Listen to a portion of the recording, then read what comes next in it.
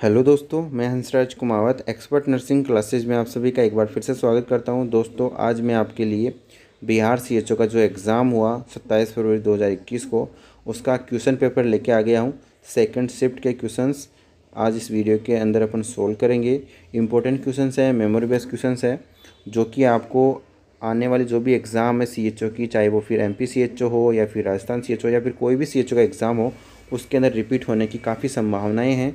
इसलिए आपको क्या करना है दोस्तों, पूरा वीडियो देखना है और पूरी, पूरा नॉलेज यहाँ से आपको लेना है। और आपको मैं इस वीडियो के अंदर ये भी बताऊँगा दोस्तों कि हमने जो आपको तैयारी करवाई थी, उसमें से कौन कौन से क्वेश्चन यहाँ पर एग्ज़ाम के अंदर आए हैं और आपको मैंने उसके लिए कुछ ट्रिक्स भी बताए हैं तो इस वीडियो के अंदर पर ट्रिक्स के बारे में भी बात करेंगे, ताकि उन ट्रिक्स से आपको लंबे समय तक क्वेश्चंस याद रहेंगे। तो वीडियो को शुरू से लेकर के एंड तक देखना है। इसके साथ ही जिन्होंने अब चैनल को सब्सक्राइब कर रखा है दोस्तों, वो वीडियो को अधिक से अधिक शेयर करना है। और जिन्होंने चैनल को अभी भी सब्सक्राइब नहीं किया, वो नीचे रेड कलर में सब्सक्राइब का बटन है। अभी चैनल को सब्सक्राइब करके और बेल आइकन यानी घंटी के निशान को ऑल पर ज़रूर प्रेस करें, ताकि जब मैं इसका सेकंड पार्ट लेके आऊँ तो इसकी नोटिफिकेशन आपको मिल सके। और दोस्तों, इसके साथ ही मैं कहूँगा कि जिसको भी बिहार सी के क्वेश्चंस याद हों, वो मुझे व्हाट्सअप कर दें ताकि आपके लिए पूरा पेपर तैयार हो सके। मेरा व्हाट्सअप नंबर है nine zero two four three zero double seven three eight. इस नंबर पे आपको अपने क्वेश्चन सेंड करने हैं।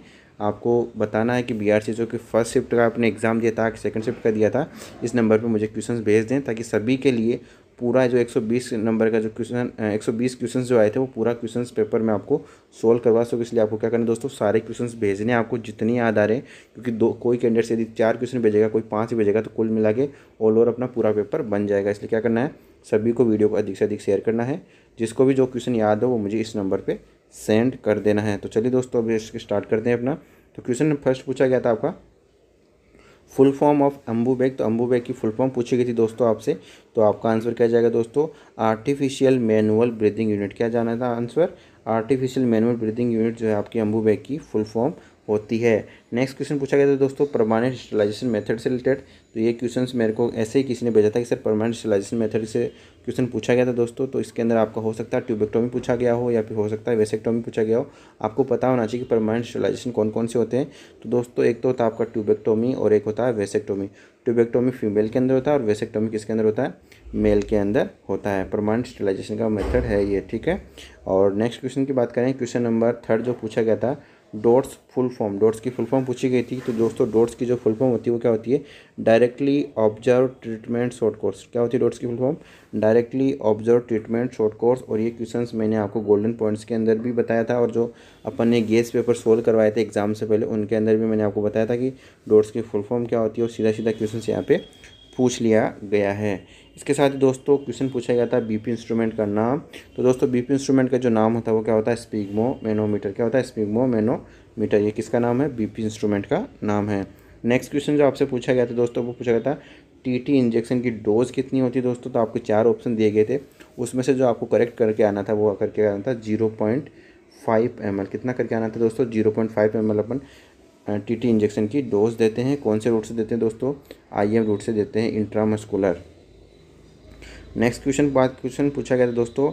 Infection transmitted to man from vertebra animals are known as यानी ये क्वेश्चन दोस्तों मैंने आपको जब सी एच एन की स्पेशल क्लासेस ली थी और जो गैस पेपर मैंने आपको करवाए थे, उसके अंदर मैंने आपको बताया था कि जो इन्फेक्शन होता है, यदि वर्टिबर एनिमल से मेन को ट्रांसमिट होता है तो उसको क्या कहते हैं? या फिर मेन से वर्टिबर एनिमल को ट्रांसमिट होता है तो उसको क्या कहते हैं? तो मैंने आपको एक ट्रिक बताई दोस्तों कि जिसके अंदर इन्फेक्शन ट्रांसमिट हो रहा है, उसका नाम पहले आएगा। जिसके अंदर इन्फेक्शन ट्रांसमिट हो रहा है, उसका नाम क्या आएगा दोस्तों? पहले आएगा। तो यहाँ पे क्या हुआ? टू मेन मेन को ट्रांसमिट हो रहा है। टू मेन यानी मेन को ट्रांसमिट हो रहा है।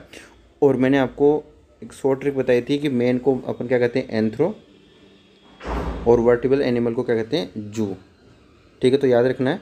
मेन को क्या कहते हैं एंथ्रो और इसको क्या कहते हैं जू और मैंने क्या ट्रिक बताई कि जिसको इन्फेक्शन ट्रांसमिट हो रहा है टू मेन टू जहाँ जिसके आगे लगा हुआ होगा, उसको इन्फेक्शन ट्रांसमिट हो रहा है और टू जन जिसको ट्रांसमिट हो रहा है, उसका नाम क्या आएगा दोस्तों? पहले आएगा। तो मेन का क्या बताया मैंने? एंथ्रो और एनिमल का क्या बताया? जू तो यहाँ पे आंसर क्या हो जाएगा दोस्तों? एंथ्रोपोजूनोसिस क्या हो जाएगा? एंथ्रोपोजोनोसिस क्योंकि जिसके अंदर ट्रांसमिट होगा इन्फेक्शन उसका नाम क्या आएगा? पहले आएगा। तो यहाँ पर क्या नाम आ रहा है? पहले आ रहा है। दो क्वेश्चन पूछे गए थे। एक एंथ्रोपोजोनोसिस के बारे में और दूसरा पूछा गया था जू एंथ्रोपोनोसिस दोनों अपन यहाँ पे सोल्व करेंगे। और इसके साथ ही दोस्तों, मैं आपको बता देना चाहूँगा कि जो जूनोसिस है, वो एक तो होती है एंथ्रोपोजूनोसिस और दूसरा कौन सा होता है? जू एंथ्रोपोनोसिस ठीक है? इसके अंदर जो अपन बात करेंगे कि जब इन्फेक्शन आपका एनिमल से मेन को ट्रांसमिट होता है, उसको अपन क्या कहते हैं? एंथ्रो यानी जिसको ट्रांसमिट हो रहा है, उसका नाम पहले, ठीक है? अब कौन कौन से इन्फेक्शन होते हैं जो कि मैन के अंदर ट्रांसमिट होते हैं एनिमल से? तो आपका एक तो रेबीज आपने देखा होगा प्लेग और इसके साथ ही anthrax hydatid disease and trichinosis ये जो है आपकी एंथ्रोपोजोनोसिस डिज़ीज़ होती हैं। नेक्स्ट क्वेश्चन पूछा गया था same to same infection transmitted from man to vertebral animal यानी इन्फेक्शन मेन से किसको ट्रांसमिट टू वर्टिबल एनिमल यानी वर्टिबल एनिमल को ट्रांसमिट रहा जिसको ट्रांसमिट हो रहा है, उसका नाम क्या आएगा दोस्तों? पहले आएगा। तो यहाँ पे ऑप्शन चार दिए गए थे ऑप्शन ए था एक्जोटिक ऑप्शन बी था आपका एंथ्रोजोपोनोसिस ऑप्शन सी था आपका जू एंथ्रोपोनोसिस एंड ऑप्शन डी था आपका एपिजोटिक। तो क्या कहते हैं दोस्तों उसको? जू एंथ्रोपोनोसिस। तो मैंने क्या बताया, जिसको इन्फेक्शन ट्रांसमिट होगा, उसका नाम पहले होगा, आएगा। तो यहाँ पे किसको ट्रांसमिट हो रहा है? टू वर्टिबल एनिमल एनिमल को ट्रांसमिट हो रहा है मतलब जू पहले आएगा। तो आंसर क्या जाएगा दोस्तों? जू एंथ्रोपोनोसिस, ठीक है? इस प्रकार से आप इस ट्रिक को याद रखना तो आपको लंबे समय तक ये चीज़ें याद रहेगी। नेक्स्ट क्वेश्चन जो अपन पूछे इसके अंदर मैं बता दूँ, कुछ एग्ज़ाम्पल भी मैंने आपके लिए, जू एंथ्रोपोनोसिस के infection transmit from man to animals कौन कौन से, एक तो ह्यूमन टीबी इन कैटल्स और यहाँ पे देख सकते हैं amphixenosis infection transmitted into either direction direction between animals and man MP का मतलब क्या होता है दोस्तों? बोथ साइड एमपी का मतलब होता है बोथ ठीक है? तो यहाँ पे जो एम जीनोसिस का मतलब क्या होता है? या तो इन्फेक्शन एनिमल से मेन को हो रहा है या मेन से एनिमल को हो रहा है? यानी डायरेक्शन बिटवीन दोनों के बीच में यदि इन्फेक्शन ट्रांसफ़र हो रहा है तो उसको अपन क्या कहते हैं? एम्फी जीनोसिस एम्फी का मतलब होता है बोथ और इसके अंदर जो एग्ज़ाम्पल इसका ट्रिपेनोसोमा क्रिजेसी और सीजोस्टोमा जेपोनिकम ये क्या है दोस्तों? एम्फी जीनोसिस के एग्ज़ाम्पल है। नेक्स्ट क्वेश्चन पूछा गया था दोस्तों आपसे फिजिशियन इंड्यूस इन्फेक्शन को क्या कहते हैं? तो फिजिशियन जो इंड्यूस इन्फेक्शन है दोस्तों, उसके आपको चार ऑप्शन दिए गए थे। उसके अंदर आपको जो सही करना था, वो करना था आइट्रोजेनिक क्या कहते हैं? फिजिशियन इंड्यूस इन्फेक्शन जो होता है, उसको अपन क्या कहते हैं? आइट्रोजेनिक इन्फेक्शन कहा जाता है। तो दोस्तों आइट्रोजेनिक जो इन्फेक्शन होता है आइट्रोजेनिक ऑफ़ डिज़ीज़ और symptom induce in a patient by the treatment और कमेंट्स ऑफ़ ए फिजिशियंस यानी फिजिशियन के ट्रीटमेंट्स के द्वारा या फिर उसके द्वारा जो कमेंट्स दी गई है, उसके द्वारा कोई इन्फेक्शन यदि ट्रांसमिट हो जाता है, उसको अपन क्या कहते हैं आइट्रोजेनिक इन्फेक्शन कहते हैं। क्वेश्चन पूछा गया था फिजिशियन इंड्यूस इन्फेक्शन को क्या कहते हैं आइट्रोजेनिक इन्फेक्शन कहा जाता है। नेक्स्ट क्वेश्चन पूछा गया था इंसुलिन का एंटीडोट तो दोस्तों ऑप्शन क्या थे? एक्चुअल में मेरे को नहीं पता, लेकिन जो इंसुलिन का जो एंटीडोट होता है, क्योंकि आपको पता है इंसुलिन की वजह से क्या होता है? हाइपोग्लाइसीमिया की कंडीशन होती है। क्या होती है कंडीशन हाइपोग्लाइसीमिया की कंडीशन होती है, और हाइपोग्लाइसीमिया को ट्रीट करने के लिए आपको क्या देना होगा? उस पेशेंट को डेक्स्ट्रोज देना होगा। चाहे तो आप ट्वेंटी फाइव परसेंट दे सकते हैं, या फिर फिफ्टी परसेंट डेक्स्ट्रोज दे सकते हैं। तो आपका आंसर क्या होगा दोस्तों? डेक्स्ट्रोज और भी कोई ऑप्शन में था अदर कोई ऑप्शन था तो आप मुझे ज़रूर कमेंट करें। मैं उसका भी कुछ निवारण आपका कर दूँगा। नेक्स्ट वापस से मैंने फुल फॉर्म ऑफ़ डोर्स ले लिया है तो वो इस directly observe treatment short course next question पूछा गया दोस्तों PV Sindhu is the player of an जो पीवी सिंधु है, वो कौन से गेम की प्लेयर यानी खिलाड़ी है? तो ऑप्शन ए था badminton option B cricket option C football and option D था नन ऑफ़ द अबाउ तो सही आंसर क्या है दोस्तों? बैडमिंटन की जो है प्लेयर है कौन? पीवी सिंधु और पीवी सिंधु का जो फुल फुल नाम है, पूरा नाम क्या है दोस्तों? पूरा नाम है इसका, पुसरला वेंकटा सिंधु, ठीक है? और इनका जो जन्म हुआ था पाँच जुलाई उन्नीस सौ को इनका जन्म हुआ था। Is an Indian professional badminton player क्या है ये? इंडियन प्रोफेशनल बैडमिंटन प्लेयर है, ठीक है? इनका डेट ऑफ़ बर्थ क्या है दोस्तों? पाँच जुलाई उन्नीस सौ पूरा नाम क्या है? Pusarla Venkata Sindhu PV Sindhu. Next question पूछा गया दोस्तों। All of the following are the fat soluble vitamin except यानी इनमें से आपको बताना था, कौन सा फेट सोल्यूबल विटामिन नहीं है? तो दोस्तों vitamin A vitamin D, vitamin E e और के। ये चारों क्या है? फेट सोलबल विटामिन है और जो वाटर सोलबल विटामिन है, उसके अंदर विटामिन सी और विटामिन बी कॉम्प्लेक्स ये जो है, दोनों क्या है दोस्तों? वाटर सोल्यूबल विटामिन है। क्वेश्चन में पूछा गया था, कौन सा फेट सोल्यूबल नहीं है? तो आपको पता होना चाहिए कि फेट सोल्यूबल कौन कौन से होते हैं। तो इनके अलावा जो ऑप्शन में होगा, वो क्वेश्चन का सही आंसर हो जाएगा। तो ऑप्शन सी यहाँ पे बिल्कुल सही जवाब, क्योंकि विटामिन सी क्या है दोस्तों? वाटर सोल्यूबल विटामिन है। इसमें क्या पूछा था? कौन सा फेट सोल्यूबल नहीं है? तो विटामिन सी क्या है दोस्तों? वाटर सोल्यूबल है।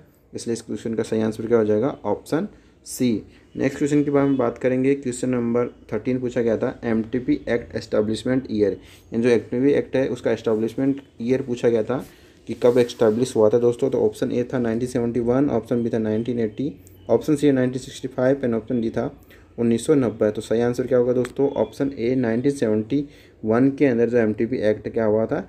एस्टेब्लिशमेंट हुआ था। तो ये कुछ क्वेश्चन थे जो मैंने आपको सोल्व कराए और क्वेश्चन पूछा गया था एंटीबायोटिक यूज़ फॉर वॉट ये क्वेश्चन पूछा गया था कि एंटीबायोटिक किसके लिए यूज़ की जाती है। उसके अंदर आपको चार ऑप्शन थे तो आपको ध्यान रखना चाहिए दोस्तों कि जो एंटीबायोटिक्स होती है, उसको अपन और किस नाम से जानते हैं? एंटी बैक्टीरियल यानी ये क्या करती है दोस्तों? जो इन्फेक्शन है या फिर जो बैक्टीरिया की जो ग्रोथ है, उसको स्लो करती है और उस बैक्टीरिया को क्या करती है? डिस्ट्रॉय करती है। कह सकते हैं अपन इन्फेक्शन के अंदर यूज़ की जाती है या फिर अपन नॉर्मली कहें कि it is a anti bacterial और इट मेडिकेशन दैट डिस्ट्रॉय और slow down the growth of bacteria यानी जो है डिस्ट्रॉय कर देती है बैक्टीरिया को या फिर उसकी जो ग्रोथ है उसको स्लो डाउन कर देती है। They include a range of powerful drugs are used to treat disease cause by the bacteria यानी बैक्टीरिया के से जो डिज़ीज़ होती है, उसको ट्रीट करने के लिए जो ड्रग यूज़ की जाती है, उसको अपन क्या कहते हैं एंटी बायोटिक्स ठीक है? तो ये कुछ क्वेश्चंस थे जो मैंने आपको सोल्व कराए हैं दोस्तों। और भी जो आपको कुछ क्वेश्चंस याद हों तो आप मुझे ज़रूर से सेंड करें। आपको इसी नंबर पे आपको सेंड करना है। जो नंबर है आपका नंबर है nine zero two four three zero double seven three eight आपको इसी नंबर पे क्या करना है दोस्तों? व्हाट्सअप जो भी आपको क्वेश्चन याद हो, वो आपको इसी नंबर पे सेंड कर देना है। तो बाकी के जो क्वेश्चन है, मैं आपको सेकंड पार्ट के अंदर लेके आऊँगा। जल्द ही सेकंड पार्ट अपलोड होगा। उसके लिए आपको क्या करना दोस्तों, सभी क्वेश्चन सेंड कर देना आप लोग। जिसको भी, जिसने भी एग्ज़ाम दिया हो बी आर का, चाहे वो फ़र्स्ट शिफ्ट का दिया हो, चाहे सेकेंड शिफ्ट का हो, जिसको याद हो, वो एक बार क्वेश्चन ज़रूर सेंड करें। ताकि सभी के लिए जो है पूरा क्वेश्चन पेपर तैयार हो सके। जो दोस्त हैं, जैसे कि जिसने बी आर का एग्ज़ाम दिया, एक कैंडिडेट से चार क्वेश्चन भेजे, दूसरे ने चार पाँच भेजे तो कुल मिला के सारा क्वेश्चन पेपर यदि आप लोग चार चार पाँच पाँच क्वेश्चन भेजते रहेंगे तो पूरा क्वेश्चन पेपर आपके लिए रेडी हो जाएगा। तो आज ये इस वीडियो के अंदर यहीं पर अपन इसको एंड करते हैं। सेकेंड पार्ट जल्द ही अपलोड किया जाएगा। इसकी इन्फॉर्मेशन प्राप्त करने के लिए आपको क्या करना होगा दोस्तों, नीचे जो रेड कलर में सब्सक्राइब का बटन है, उसको अभी सब्सक्राइब कर लीजिए और बेल आइकन को ऑल पर ज़रूर प्रेस कर लीजिए। इस वीडियो को ज़्यादा से ज़्यादा शेयर करें ताकि सभी लोग जो अपने अपने क्वेश्चन सेंड करें और हम आपके लिए पूरा बी आर का पेपर सोल्व करवा सकें। इसलिए क्या करना दोस्तों, आपको वीडियो को अधिक से अधिक शेयर करना तो चलिए दोस्तों, आज के वीडियो में इतना ही। मिलते हैं नेक्स्ट वीडियो में। धन्यवाद। Subscribe now and press the bell icon never miss an update